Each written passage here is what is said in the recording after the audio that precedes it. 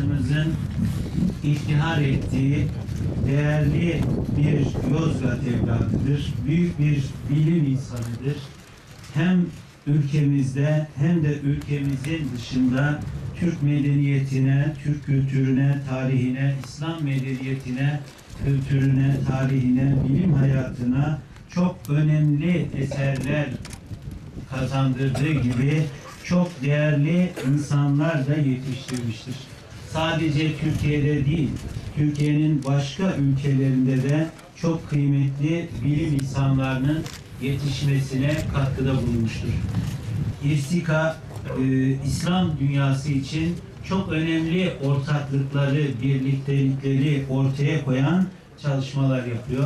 O yüzden onun kurulmasındaki katkılarından, bu hale getirilmesindeki katkılarından dolayı ve bugünkü e, hizmetlere ulaşmasından dolayı öncelikle Ekmelettin İhsanoğlu hocama şükranlarımı sunuyorum ve devam eden çalışmalardan dolayı da Halit Eren hocama teşekkürler ediyorum. Zaman zaman Yozgat'ın dışında bize de soruyorlar. Yozgat'ın ilim dünyasına kazandırdıkları nelerdir diye. Ben hiç unutmam bazı yerlerde sanki bu alanda e, hiç insanımız yokmuş gibi bir yaklaşımın olduğu yerde isimleri saydığım zaman arasında Ekmelettin İhsanoğlu hocamı da saymıştım.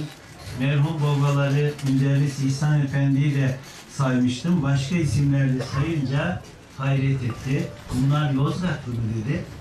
Evet Yozgatlı dedim. Hem de Yozgat'ın has insanları, has bilim insanları Yozgat'tan çıkmış.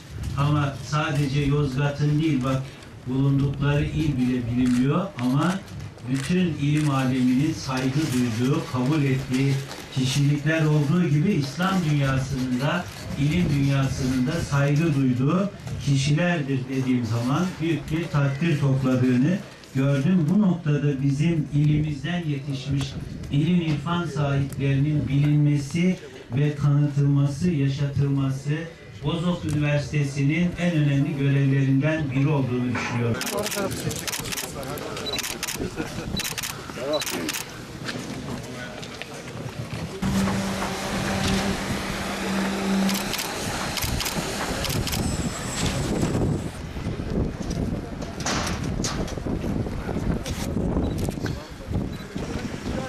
Ee, Çalıştay.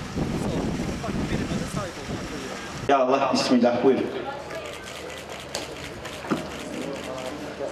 Efendim Yozgat İmam Hatip Ortaokulu Lisesi ve 296 yataklı yurt binası Yozgat'ımıza, ülkemize, aziz milletimize hayırlı uğurlu olsun diyorum.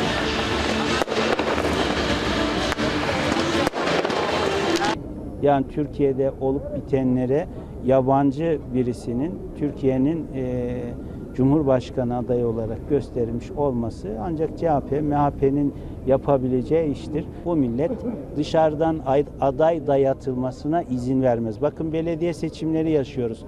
Halkın istemediği birini Türkiye'nin en güçlü partisi bile aday koysa seçiyor mu vatandaş? Seçmiyor. Hayır diyor, oy vermiyor. İşte biz yaşadık Urfa'da geçen dönemde diyelim bir başka aday koyduk. Halk hayır dedi ve Urfalılar gitti bizim aday koymadığımızı seçti.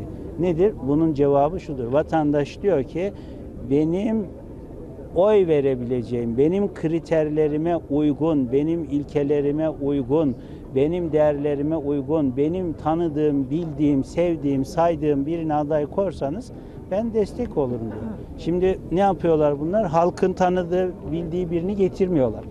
Halkın içinde olan birini getirmiyorlar. Siyaset yapmış birini getirmiyorlar. Dışarıdan birini getiriyorlar. Herkes adayı Google'dan öğrenmek istiyor. Türk milleti Google'dan öğrendiği birine Cumhurbaşkanı sıfatını vermez. İçinde yetiştirdiği birine Cumhurbaşkanı sıfatı verir. Açın, açın böyle. Açın burayı.